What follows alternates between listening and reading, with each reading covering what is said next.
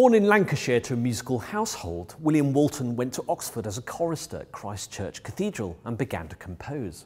His music was heard by the wealthy aristocratic Sitwell family, who took him under their wing at just 16 and introduced him to the great and good of British musical life. Walton's early music dabbled with the then fashionable atonal serialist style, and his string quartet was admired by that great serialist composer Alban Berg, no less. But Walton was really a populist at heart, a man whose music was firmly rooted in the grandeur of Elgar, mixed with the piquancy of Prokofiev and Shostakovich. His first popular work was his Facade, a lively, witty, slightly superficial entertainment for six players and speaker. But his first serious piece, which really made his reputation, was the luscious viola concerto, premiered by Hindemith in 1929.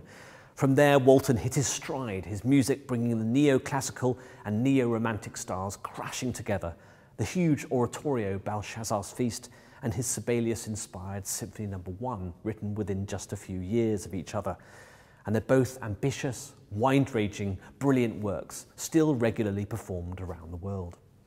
From there, Walton spent a couple of decades writing music on a smaller scale, music for royal occasions, including his coronation marches, Crown Imperial and Orb and Sceptre. But he dabbled in film scores too, including the wildly successful music for Laurence Olivier's Henry V, although his score for the Battle of Britain was rejected and replaced with music by Ron Goodwin. Walton found out after reading about it in the Daily Telegraph.